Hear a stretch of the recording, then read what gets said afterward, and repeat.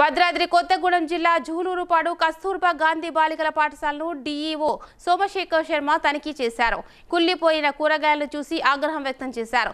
ఇలాంటి కూరగాయలతో విద్యార్థులకు భోజనం ఎలా పెడుతున్నారని ప్రశ్నించారు. అనంతరం విద్యార్థుల సామర్థ్యాలను పరీక్షించారు.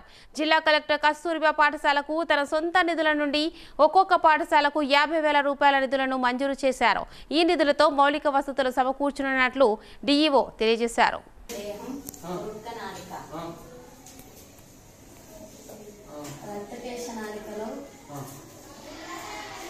ఫండ్లోంచి కలెక్టర్ గారి ఫండ్లోంచి ఇప్పుడు ఒక్కో కేజీబీవీకి యాభై వేల రూపాయలు చొప్పున శాంక్షన్ చేశారు.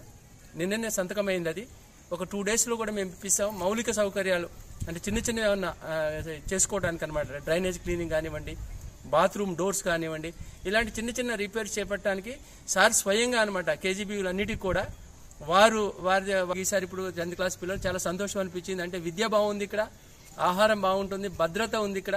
కాబట్టి కేజీబీవీలు అనేది ఒక సురక్షితమైన విద్యాలయంగా మేము తీర్చిదిద్దా ఉన్నాము. ఇవి కూడా ఎంత నీట్గా ఉందో చూడండి. ఆయన రెండు రోజులు పట్టి వచ్చి ఇక్కడ కూర్చొని చేశారు. సర్పంచ్ గారికి కూడా ధన్యవాదాలు.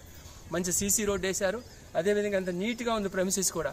సర్పంచ్ గారికి కూడా కృతజ్ఞతలు తెలియజేసుకుంటాను. ఎస్ఓ కూడా ఎస్ఓ గారు కూడా బాగా మెయింటైన్ చేస్తా ఉన్నారు. అమ్మా ఇదే కంటిన్యూ చేయాలి మీరు ముందు ముందు కూడా.